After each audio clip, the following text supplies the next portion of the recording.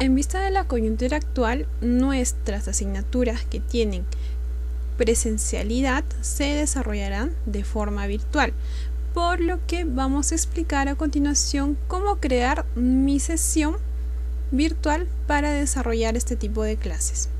Es importante tener en cuenta los siguientes puntos.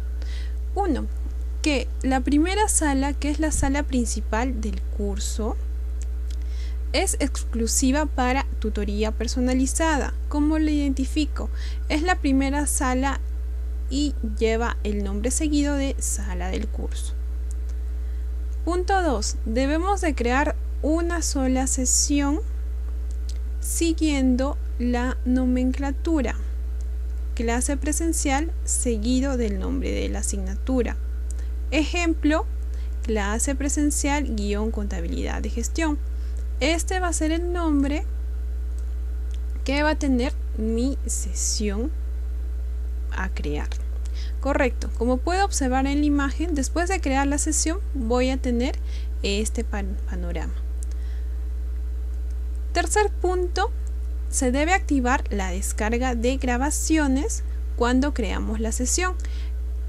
Esto lo encuentro en el paso de crear la sesión, en la, en la opción ajustes de sesión, debo activar el check de permitir descargas de grabaciones. Mm, es importante no olvidar estos puntos.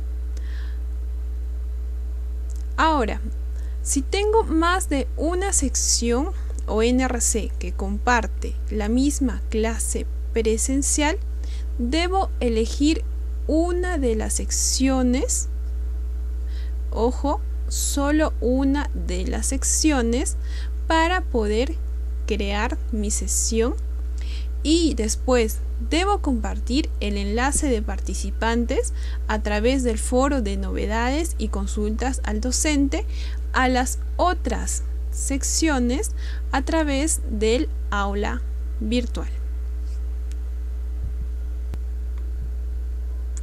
Con respecto a las grabaciones, tanto las grabaciones de tutoría personalizada como de mi clase presencial las voy a ubicar en el siguiente apartado de grabaciones como puedo apreciar en la imagen. Cada grabación tiene el nombre de la sesión que se ha creado o la sesión por defecto de la tutoría personalizada. En el caso de las grabaciones es importante recalcar lo siguiente. En el caso de que mi asignatura solo tenga una sección en el aula virtual, tanto el docente como el estudiante puede acceder a la grabación a través de este apartado. Pero si tengo más de una sección que comparte la misma clase presencial, es importante que yo pueda compartir la grabación copiando el enlace y publicándolo en los foros de novedades y en el foro de novedades y consultas al docente de todas las secciones. Bien, ahora vayamos a la parte demostrativa. Para crear la sesión me voy al aula virtual y voy a ubicar, en el caso de que yo tenga más de una sección, elijo una de las aulas para crear mi sesión virtual o en el caso de que yo tenga una sola sección, obviamente creo en esa sección mi sesión para mi clase presencial. Entonces me ubico en la sección de videoclases y tutoría. En este caso tenemos el horario que los estudiantes van a poder ver, eh, los accesos, las grabaciones, ¿no? Esto, ojo, es con respecto a las videoclases que son diferentes de las clases presenciales que yo voy a brindar cada 15 días.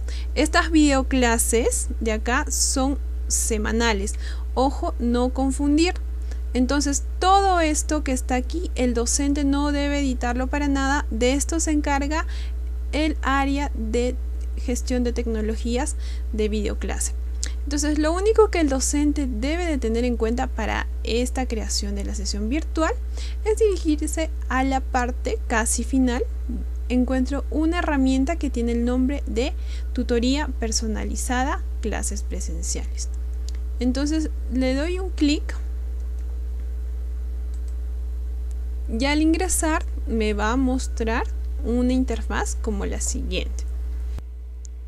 Bien, entonces voy a encontrar una sala por defecto, que es la primera que está acá, que está dedicada exclusivamente a tutoría personalizada.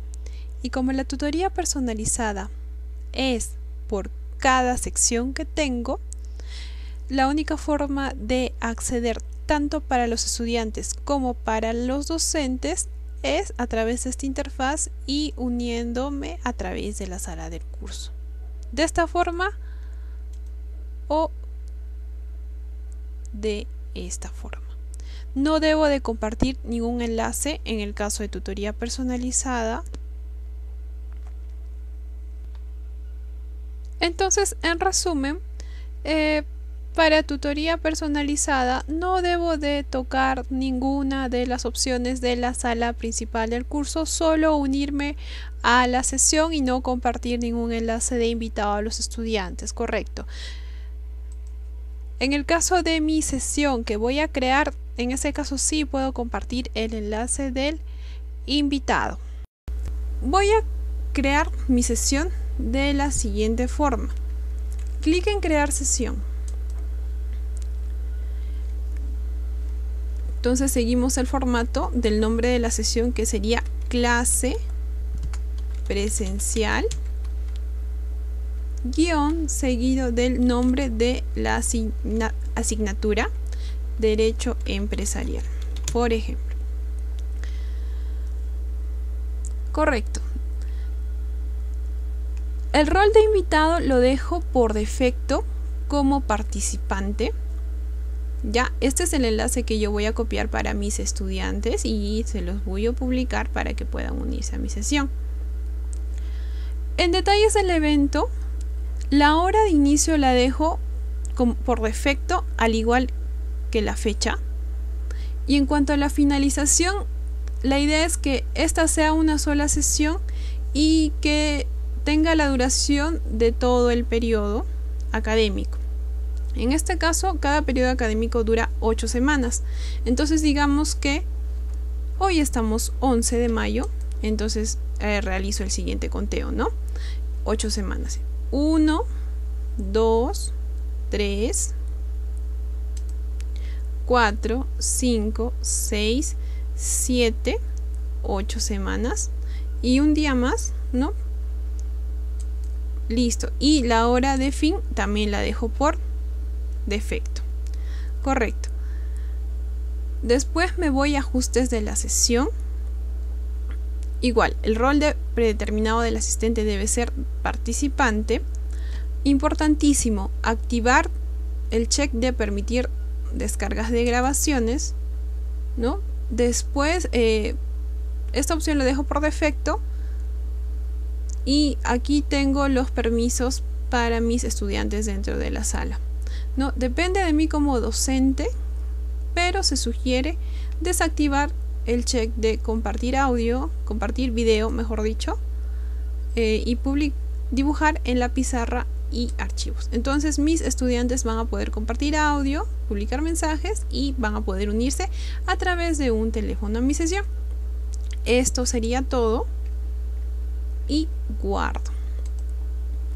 Yo como docente para ingresar como moderador a esta sesión que he creado, que es permanente para todo el periodo, ¿no? Siempre voy a encontrar entonces, siguiendo los parámetros que hemos explicado, siempre voy a encontrar esta sesión.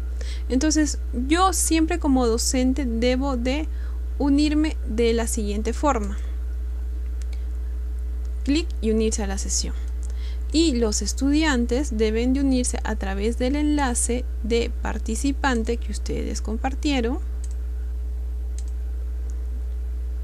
o a través de acá de este enlace que ustedes han compartido a través del foro de novedades y consultas al docente.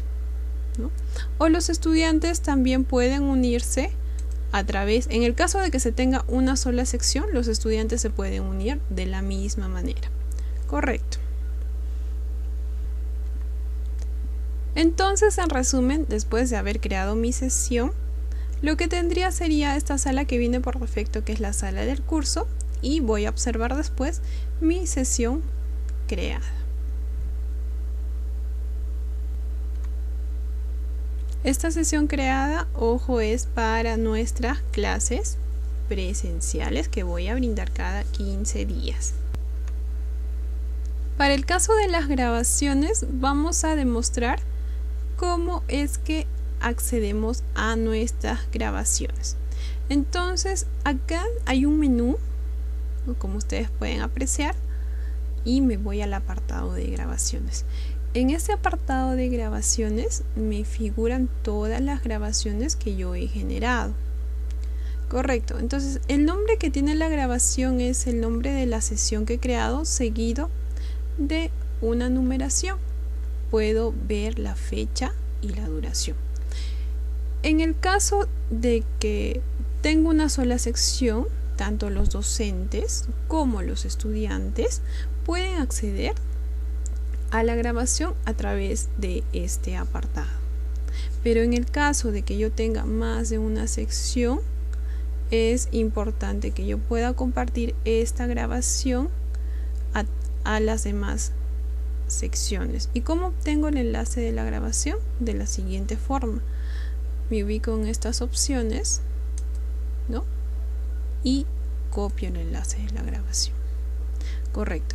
Es muy importante que no pueda, muy importante, no eliminar las grabaciones. Tener mucho cuidado con todas las demás opciones. Lo único que yo debo de realizar es copiar la sesión. Esto sería todo. Muchas gracias, estimados docentes.